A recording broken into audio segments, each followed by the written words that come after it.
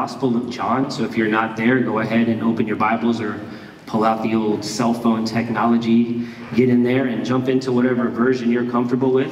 Um, we are going to be reading out of the New King James Version, so if my verbiage doesn't exactly line up with yours, the message is still at its core the same thing.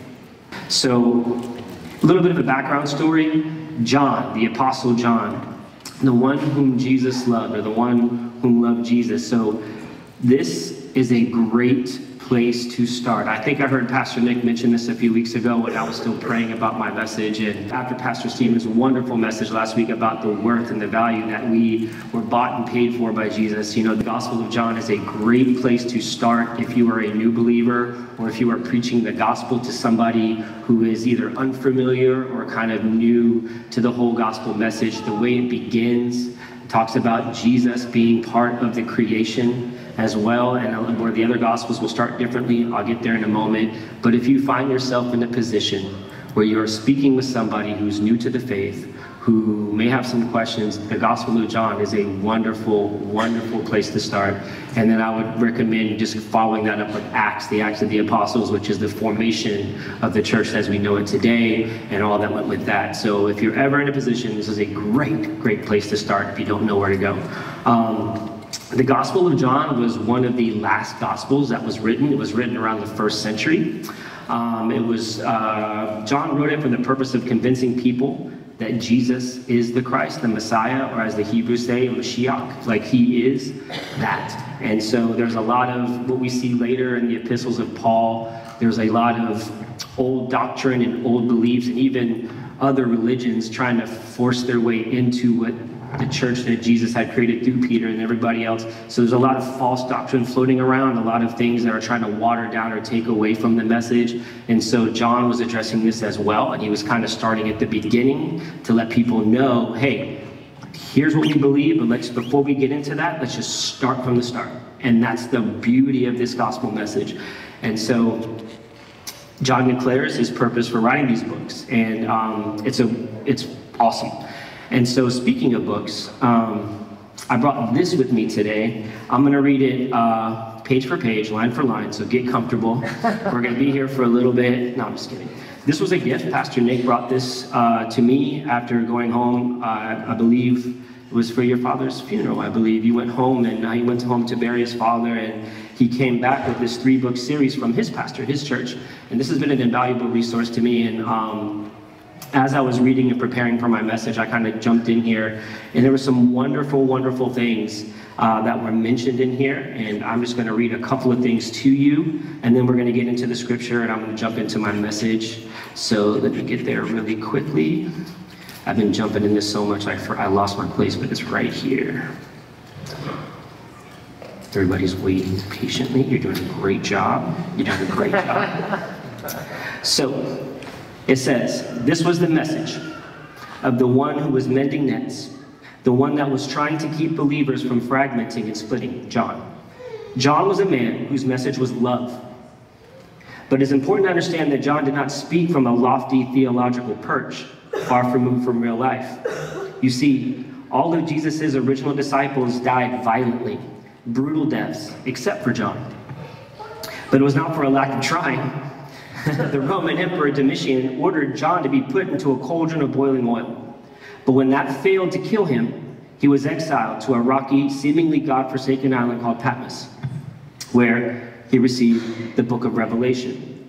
And following his release from the exile in Patmos, probably nearing 100 years of age, John returned to Asia Minor, where he went from church to church, sometimes carried on a stretcher. And the historian Eusebius tells us that when John would come into the meeting places, people would break out into applause, for this is the one who knew Jesus. And they would say, Tell us something heavy, tell us something heavy. But John would deliver a single sentence sermon. And he would say, and this has been the theme since prayer this morning, this is why I mention this again Children, love one another. That's it. now, carried him in on a stretcher. Everybody, oh, everybody's crazy, going crazy for John. Love one another. Adios. That's it. Beautiful. And from the church to church, John traveled with this single message children, love one another. It's beautiful. Now, last one. And I start. Yet, along with his faults, John did possess one sterling quality. For one, for of the thousands who came to see Jesus heal lepers, open blind eyes, and raise the dead, only hundreds came to hear him teach. And out of the hundreds who heard him teach, only 70 would actually follow him. We see this in Luke 10, chapter, uh, Luke chapter 10, verse 1. Of the 70 who followed him, only 12 left everything. Of the 12 who left everything, only three went with him to the Mount of Transfiguration and prayed with him in Gethsemane. And of those three, only one was at the cross. John. He lacked love, but he had loyalty. And perhaps that's why, from the cross, Jesus looked down to this loyal one and commended his mother into John's care. You look at that.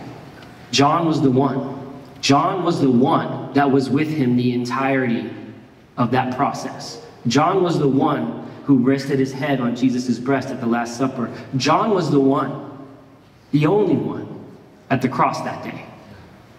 John was the one that Jesus said, Look at your mother, look at your son. That was John. And so this is who we're talking about. All, every single one, if you want to count Paul in this group too, all of the apostles were executed, all sentenced to death. John being one of them, but John survived and he still preached the gospel. They sent him to a prison island. He still preached the gospel.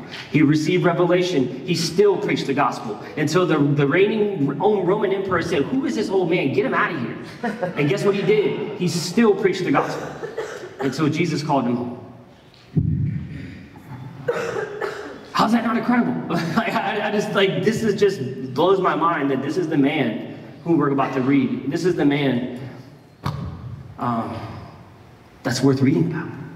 So, follow me, follow me, follow me. So, last thing I'm going to say before we read, as I alluded to a minute ago, there are four Gospels Matthew, Mark, Luke, John. Matthew began with generation and genealogy of Jesus going back to Abraham. So he starts at Abraham, shows lineage, children, son, son, son, son, all the way from Joseph to Jesus. Mark began with the baptism of Jesus by John the Baptist. Luke began with Zacharias, the father of John the Baptist, so we get the backstory of John the Baptist, and then his interaction with Jesus in the gospel starts. Now, John, he begins at the beginning, the literal beginning, prior to Genesis beginning, and um, before time itself. And so we learn that Jesus existed. Even as the, the earth was nothing, God was, and God is. So let's read. From the beginning, was the Word, and the Word was with God, and the Word was God. He was in the beginning with God. All things were made through him, and without him nothing was made that was made. In him was life, and the life was the light of men. And the light shines in the darkness, and the darkness did not comprehend it. There was a man sent from God whose name was John. The man came for wit. They came. My goodness, I promise y'all I can read. I teach literacy. This man came for a witness to bear witness of the light, that all through him might believe. He was not that light, but he was sent to bear witness of that light. That was the true light, which gives light to every man coming into the world. He was in the world, and the world was made through him, and the world did not know him. He came into his own and his own did not receive him. But, I have this verse highlighted, but as many as received him, to them he gave the right to become children of God, and to those who believe in his name, who were born not of blood, nor of the will of the flesh, nor of the will of man, but God. So we're going to, this is where we're going to exist today. I'm just going to isolate today's teaching between verses 1 through 12, and we're that's 1 through 13, pardon me, and we're just going to kind of hover here and let the Lord do what he does today. We're not going to rush through the chapter just to get through it, amen? All right. So let's start from the beginning. So the Word was with God, and the Word was God. Here, John, the first chapter, Jesus is described as a creator of all things. Paul, as he's writing to the Colossians concerning the preeminence of Jesus, declares that he is not only the creator, um, but he is the object of creation, and by him all things were made for him. So he is not only the creator, but the object of creation, and all things were made by him, the universe around us, and all this life forms. So we see Elohim. This is the in the in the Hebrew or the Greek. I forget which is it, Pastor Nick. Is it, uh, is it Greek or Hebrew? Elohim. Hebrew. Hebrew. So in the Hebrew, it's Elohim, which is the plural for God. Right? We see El Shaddai, El Roi. These are all singular references to God in the in the Old Testament. El, singular form.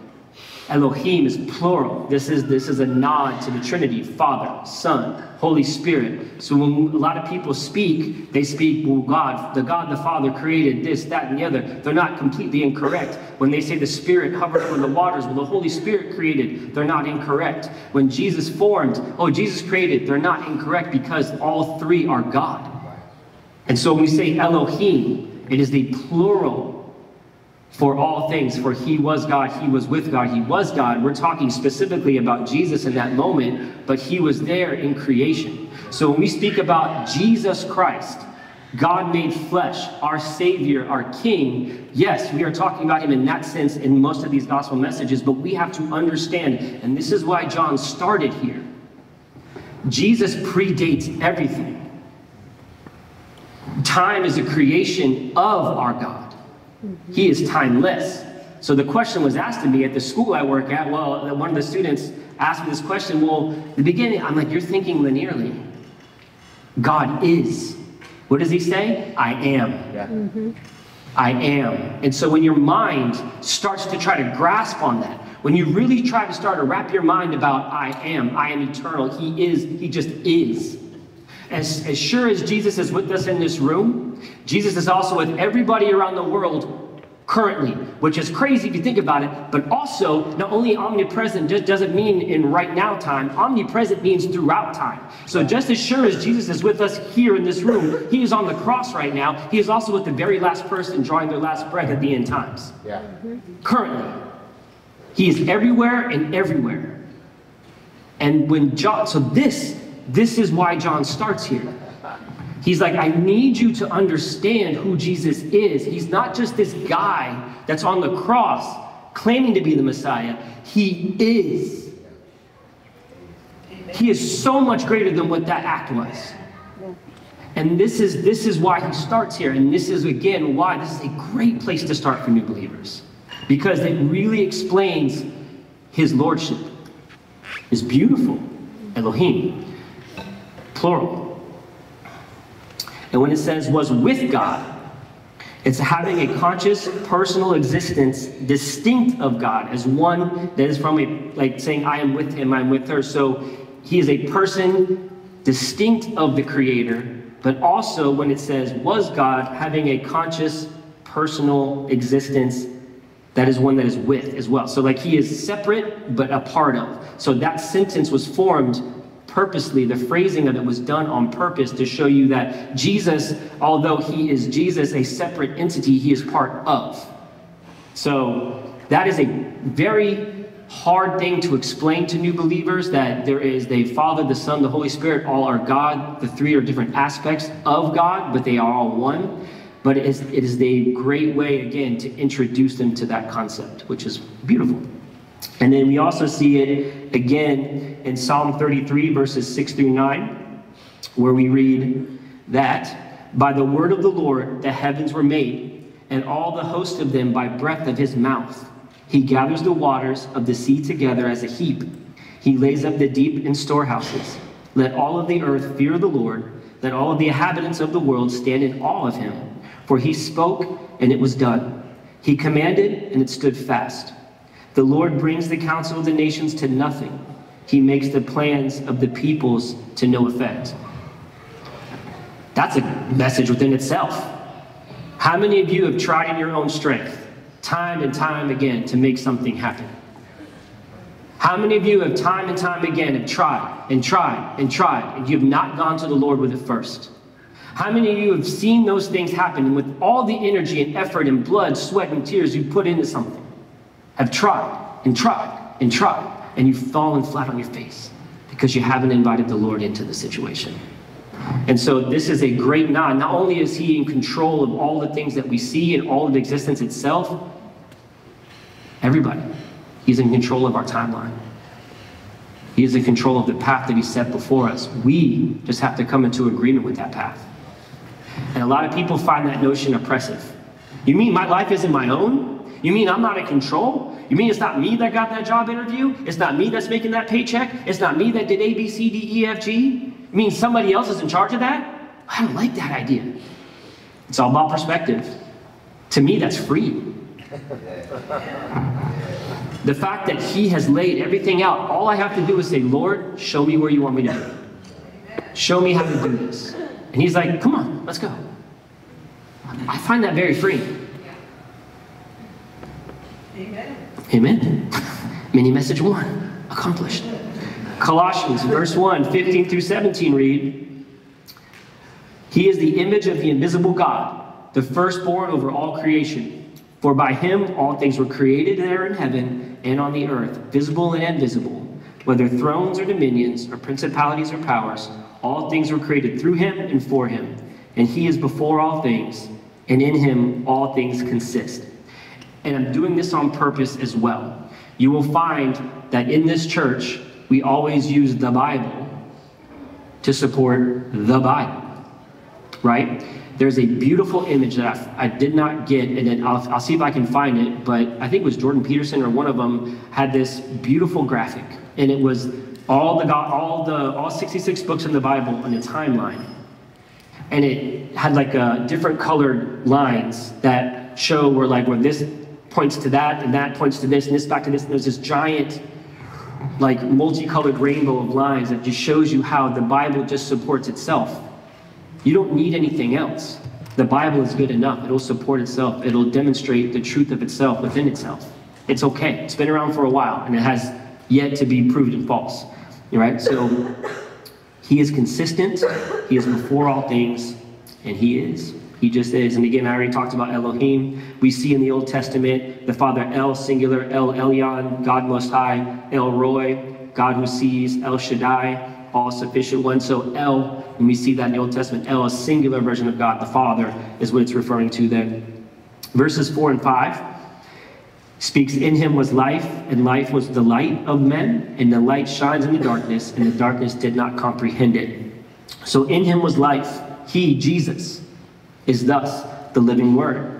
Or as John later calls him in his epistles, the word of life and the light of men. So true light is this, and this applies to women too, but just speaking in the context of the Bible, the light of men, knowledge, integrity, intelligence, and subjection to God.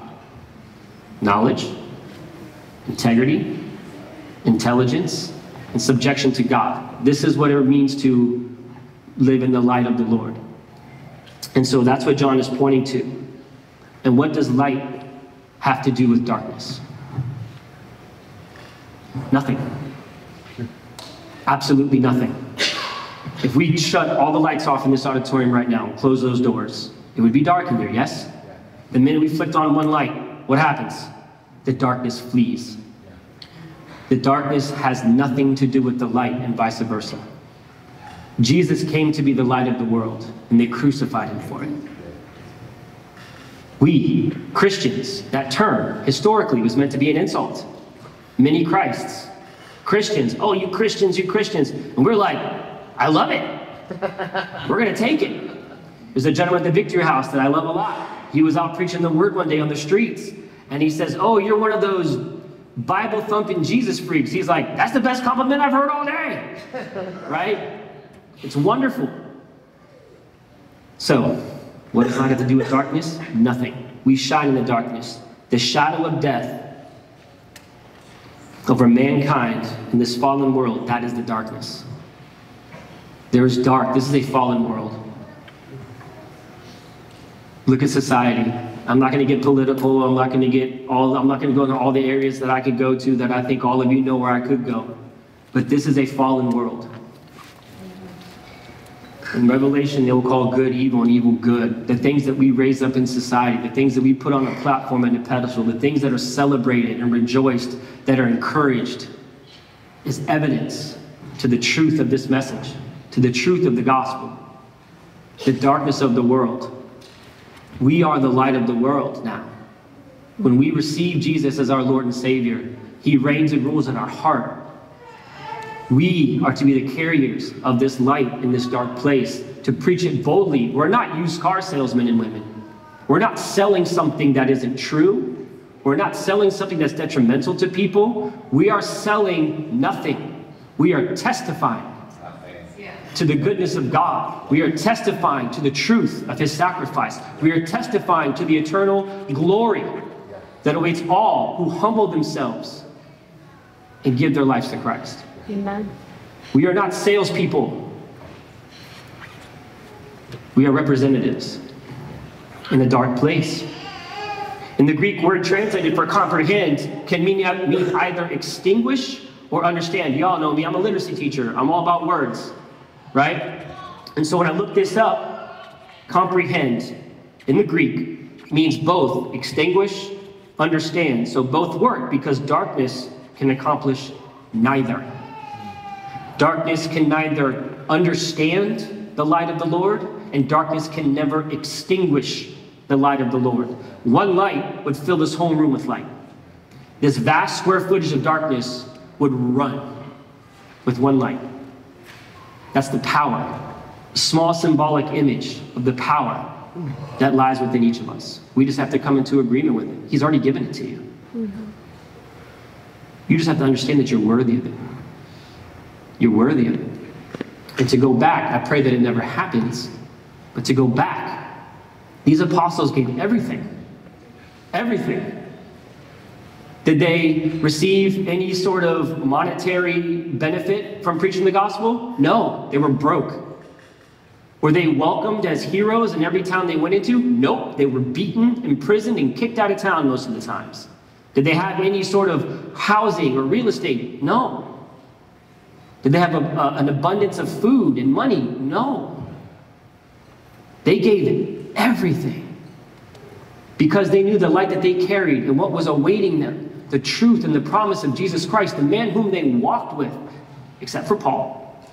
Paul met him later on his road to Damascus, but this was worth everything. They feared nothing.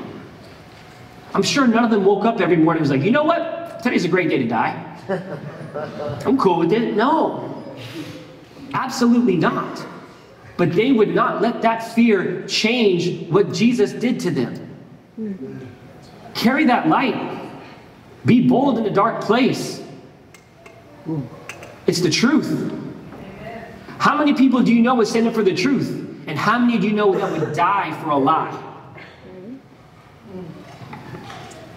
Answer's pretty simple. Amen? All right, rock and roll. Verses 6 through 10. It said, There was a man sent from God. This is John the Baptist. I know it gets confusing because we have John and John. But this man came for a witness, to bear witness of the light, that all through him might believe. He, John the Baptist, was not that light, because the light was who? Jesus. Hey, all right. Um, that was true light, which gives light to every man. Now, John the Baptist. John the Baptist, John the Baptist, John the Baptist. He was what I would consider, this is not biblical, this is me as a human being, as a man. John the Baptist is what I would consider the first influencer, right? Like we live in a society where influencers, influencers, social media, like do what I do, say what I say, buy what I want to sell, right? Influence, influence, influence. John the Baptist historically was called, if you ever watched The Chosen, they called him Crazy John. Like he's the guy out in the forest, crazy hair, camel, eating locusts, you know, camel fur outfits, eating locusts and doing all kinds of crazy things. But he wasn't crazy.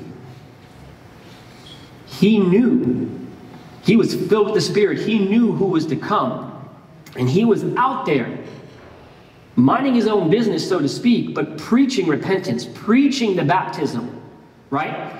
He was to prepare the way for our Savior.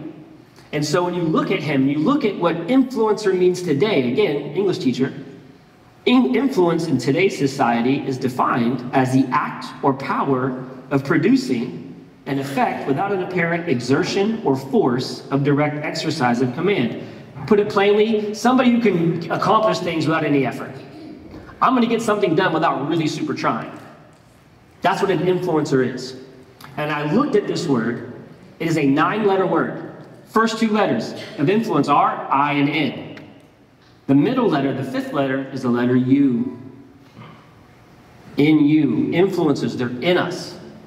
Right? They're in you, they're in me. We are influenced constantly. We are influenced by our environment, we're influenced by our family, we're influenced by the culture of the world, we're influenced by our entertainment. There are so many things that influence our character, that influence what we say, what we do, how we think, how we dress, right?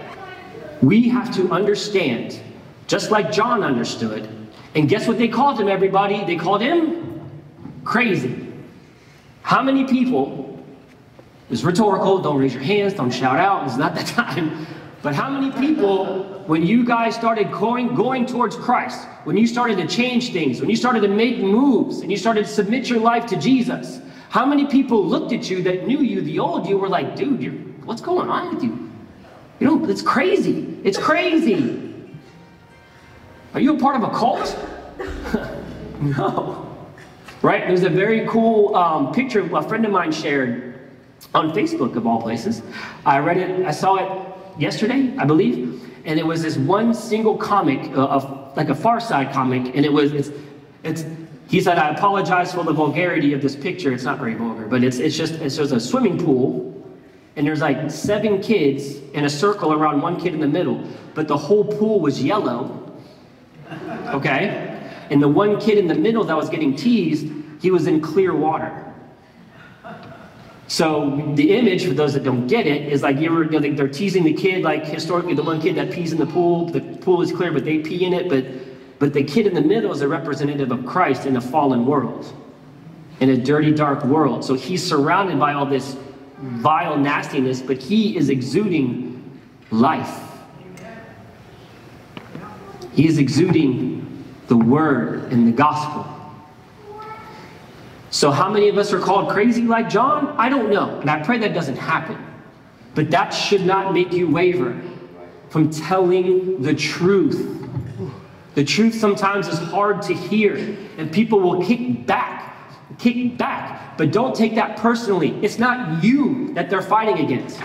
It's what their spirit is receiving because they know deep down that what you're saying is right. What you're saying is true.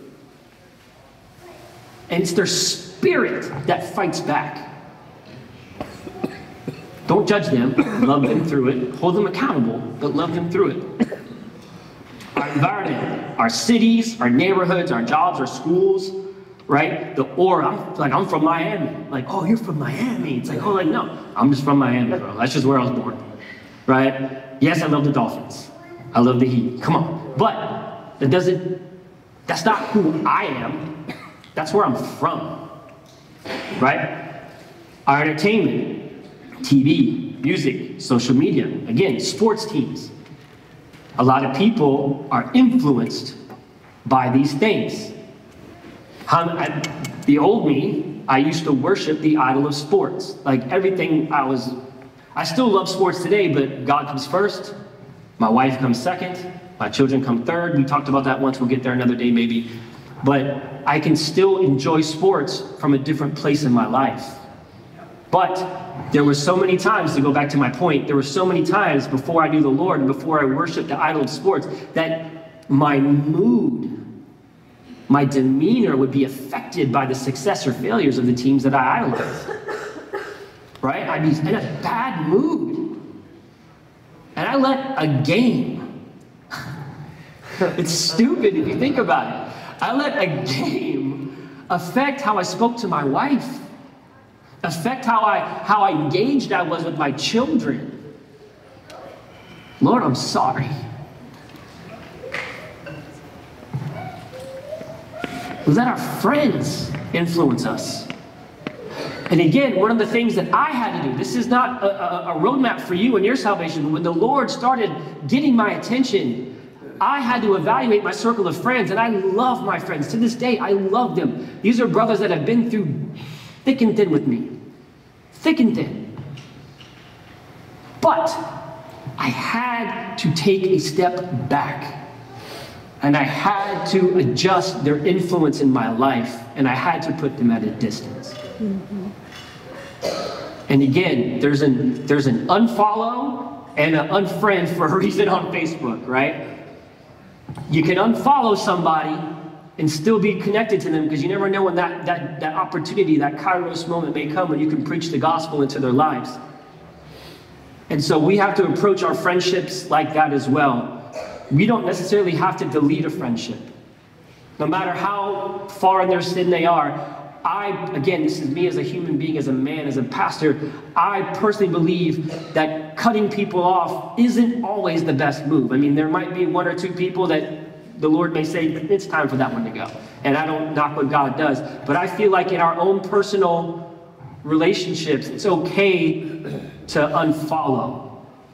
You see, understand what I'm getting at? Take a step back Watch how they influence you. Watch what they speak over you. Watch what they say to you. Watch what they're leading you to do. I talked about Pastor Nick a second ago. He is my pastor, he is my spiritual father, he is also one of my best friends. And the world has a saying show me your friends and I'll show you your future. He loved me enough. This is one of three books, by the way. Yay! But this is who I surround myself with now. He is an influence in my life. Because we're like minded in our goal, we want to see God reign and rule. You may have to evaluate your friends and our family. Our family, our family, our family. This is something that Lindsay and I are, are always aware of and consistently trying to navigate where we are with the Lord and everything.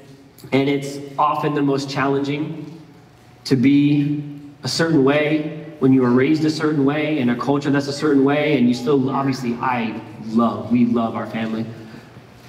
But at the same time, we're different now. We're different. And praise God, they've accepted that. It's taken some time, and they're still learning. But to take it off of me, our culture, our family history, it's all secondary. It's all secondary to who we are in Christ. Our last name. Oh, you're a Burnside. I am. My children are Burnsides. But more importantly than that, they are children of the Most High. You have to know that. Your faith becomes, pardon me, your faith comes before your last name. Oh, but your blood, your blood. Listen to me. And the Holy Spirit gave me this this morning. Your blood is secondary to the blood that was bled out for you on the cross.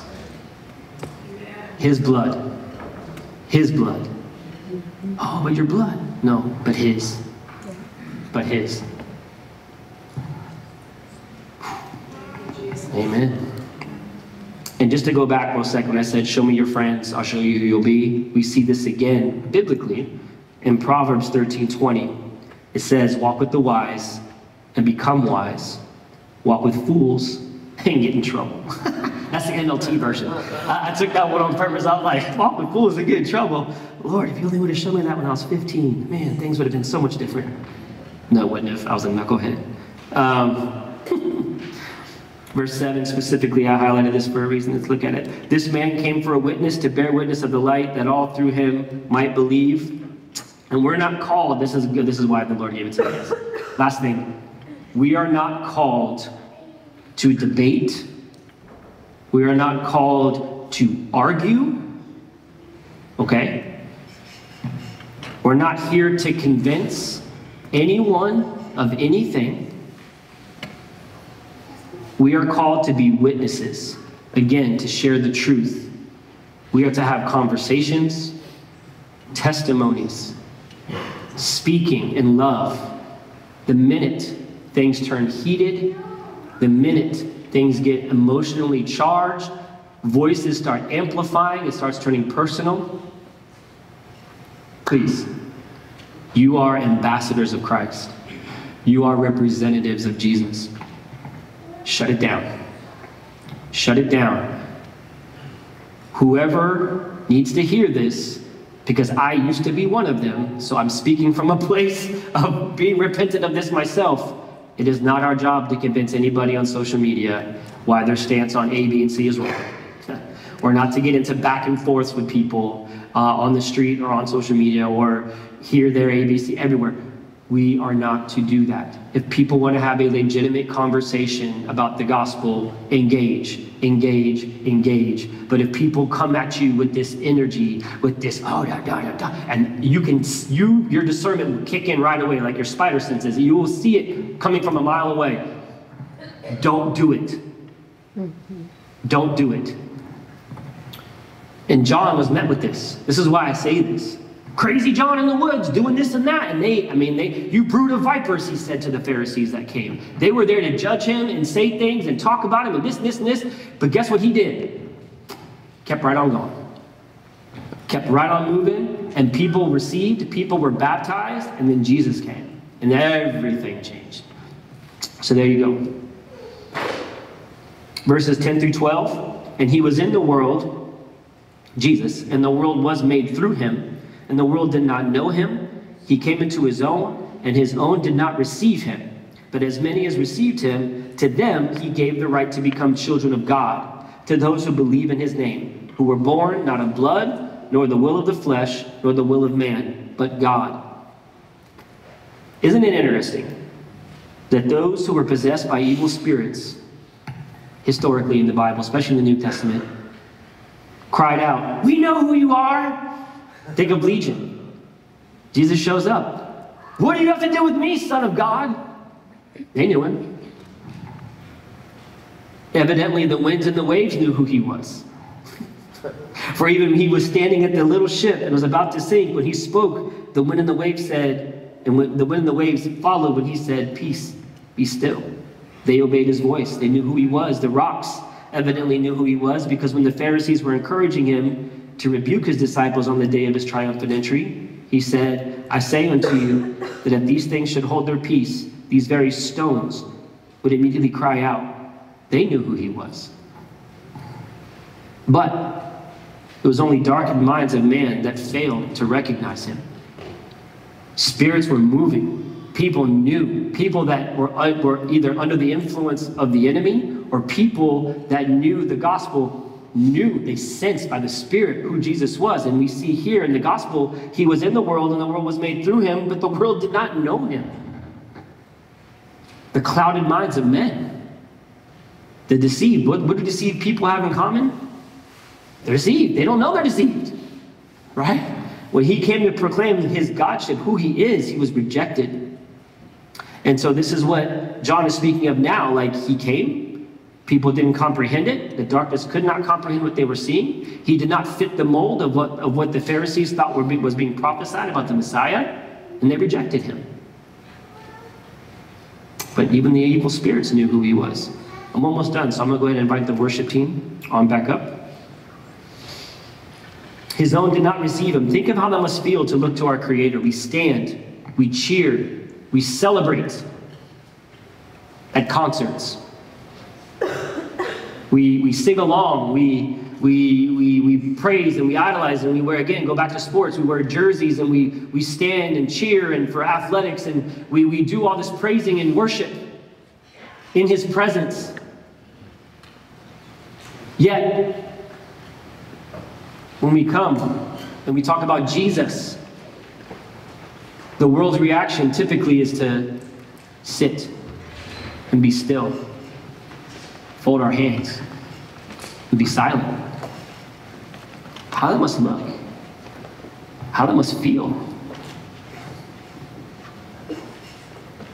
Thou shalt call his name Jesus, the angel of the Lord said to Mary in Luke 1:31. The name Jesus means Jehovah is salvation. You will receive power to become a son or a daughter of God. when you believe that Jesus is not merely a Savior or even the Savior, but He is your Savior. Your Savior. So here He is, in the beginning with God, the Creator of all things, coming to His creation and not being recognized not being, appre- not being apprehended, coming into his own, not being received, and yet as many as would receive him. And so the gospel of grace, as many as would receive him to them, he gave the power to become the sons of God and daughters of God. The Son of God becoming man in order that he might reach each of us, sons and daughters, would believe in his name. Amen. This is the beginning of the Gospel of John.